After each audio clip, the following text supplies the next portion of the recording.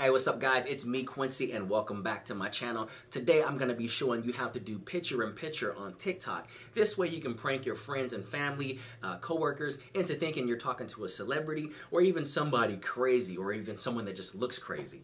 Coming up next.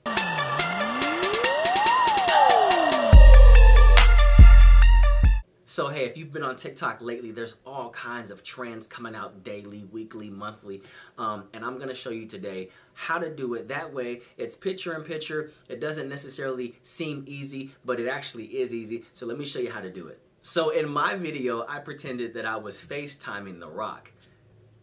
Of course, he wasn't moving in the video, you know, just standing there, but. So this is my video, and I use The Rock as I mentioned already. So I'm going to show you how to do it and uh, what I did. So I'm on TikTok and what you want to do is you want to go ahead and uh, click on effects and you want to select right down here with the hand waving picture in the corner select that one now I have in my gallery the rock so he shows up kind of big um, and then you want to take your fingers and just pinch it to the size that you like we'll put him over here in the corner just like that um, and then assuming that I'm making a phone call, uh, hey, there you go. You have it. You know, it starts off big, but you can pinch it to whatever size.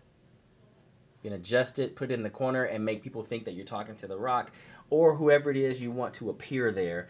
Uh, just as simple um, like that. All right?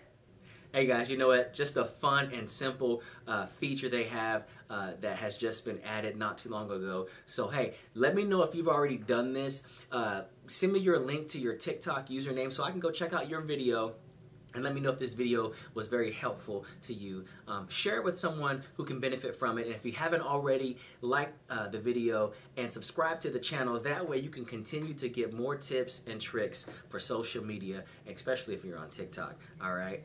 Later.